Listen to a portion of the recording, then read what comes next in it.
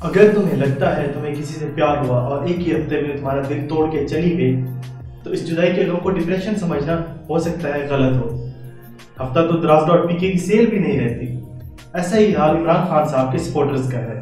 السلام علیکم ناظرین۔ تھرڈ فل شو میں خوش آمدید۔ اس شو کی انفرادیت ہے کہ اس کے اندر زبان زد عام، گالی کلوچ سے دوری رکھی گئی ہے۔ لہٰذا آپ اس شو کو اپنی فیملی کے ساتھ بیٹھ کر دیکھ سکتے ہیں۔ سبسکرائب کرنا تو بنتا ہے یہاں پہ نیچے۔ پاکستانی سیاست کی چکی میں پسی ہوئی مبل اور فریب زدہ قوم۔ اس کے جذبات سے کھیلتے ہوئے دو ہزار دو میں اپنی پارٹی کے ایک پارلیمنٹیرین واحد پارلیمنٹیرین کی آج تحریک انصاف ملک کی سب سے دوسری بڑی جماعت بن چکی ہے۔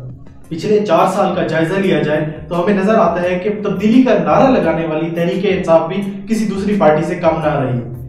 یوٹرن ٹانگیں اڑانا اور الزام تراشی، یہ سب چیزیں ان کے اثاثہ جات میں شامل ہیں۔ اس شو کے اندر ہم جائزہ لیں گے دو ہزار سترہ کے وہ واقعات جن سے ثابت ہوتا ہے کہ پی ٹی آئی تبدیلی کا نعرہ لگاتے لگاتے طاقت پسند جماعت بن گئی۔ آغاز کریں گے جہانگیر ترین کیس کے ساتھ۔ نواز شریف صاحب کی جب نااہلی ہوئی تو عمران خان نے ان کو بطور پارٹی کا ممبر اور سربراہ رہنے کی شدید مذمت کی۔ لیکن جہانگیر ترین صاحب کے فیصلے میں تھوڑا ایک الگ رخ رہا۔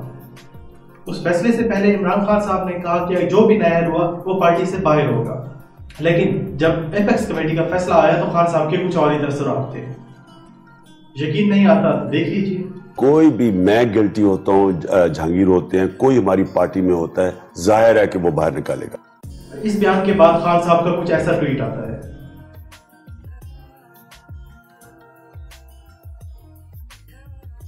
ایک لمحے کے لیے سب سوچا کرتے تھے شاید عمران خان صاحب اکربا پروری اور مروسی سیاست کے خلاف ہیں۔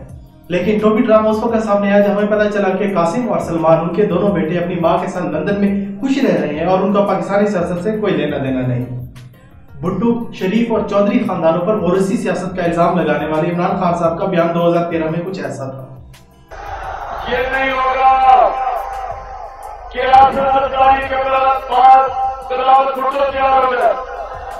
یہ نہیں ہوگا کہ آصف زرداری کے بعد بلاول بھٹو آ جائے۔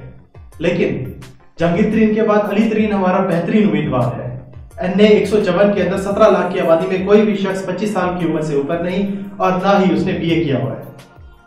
خود بیان سن لیجیے۔ ہم نے سارا جو چیک کیا اس، ان کے جو حلقے میں، سوائے ان کے کوئی اس سے بہتر کینڈیڈیٹ نہیں ہے۔ میرٹ ہوتی ہے نا۔ جدھر یہاں تو میرٹ ہے کہ جہانگیر ترین کے بیٹے کے علاوہ کوئی کینڈیڈیٹ نہیں، ہمارے پاس کوئی کینڈیڈیٹ نہیں ہے۔ اب اگر آصف زرداری صاحب بلاول بھٹو کو بہترین امیدوار کہتے ہیں تو ان کو اعتراض نہیں کرنا چاہیے۔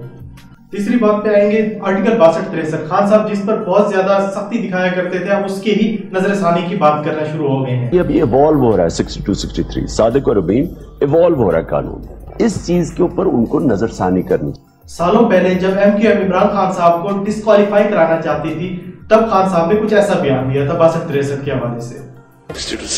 امپلیمنٹیبل ہی نہیں ہے۔ یا تو آپ فرشتے بٹھا دیں اسمبلی میں تو وہ شاید ہو جائیں۔ انسانوں کے اوپر وہ امپلیمنٹ نہیں ہو سکے اپنے اور جہانگیر ترین صاحب کے لیے کچھ ایسا موقف تھا لیکن جب نواز شریف کی نااہلی باسٹھ تریسٹھ پر آئی تو خان صاحب کچھ ایسا یو ٹرن لے گئے سکسٹی ٹو سکسٹی تھری بنیادی چیز ہے لیڈرشپ کے اندر صادق اور سیاسی انا کی آڑ میں وہ خان صاحب جو اسلام آباد ملتان اور لاہور کی میٹرو بس کو جنگلہ بس سروس کہا کر یہ فرمایا کرتے تھے کہ کے پی کے کی ترجیح، تعلیم اور صحت ہے۔ خود پشاور میں بس ریپڈ ٹرانسپورٹ سسٹم کی بنیاد رکھ چکے ہیں۔ یہ پروجیکٹ چھ مہینے میں مکمل ہوگا۔ الیکشن دو ہزار اٹھارہ، عوام اتنی بھی اندھی نہیں ہے۔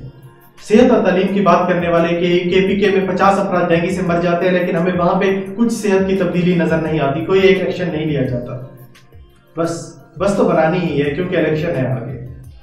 پی ڈی آئی کی ممبر عائشہ گلر جن نے عمران خان پر گندے گندے میسیجز بھیجنے کا الزام لگایا تھا، اس الزام کو جھوٹ ثابت کرنے کی وجہ پی ٹی آئی کی ہی کچھ خواتین، فردوس، عاشق امان اور جاسمین راشد، دونوں عائشہ آد جو کہ حمزہ شریف کی سابقہ بیگم تھی، ان کو انصاف دلانے چل پڑی۔ وہی ریونج پالیٹکس جو پی پی پی اور پی ایم ایل ایل میں نظر آتی ہے، کوئی فرق نہیں رہا۔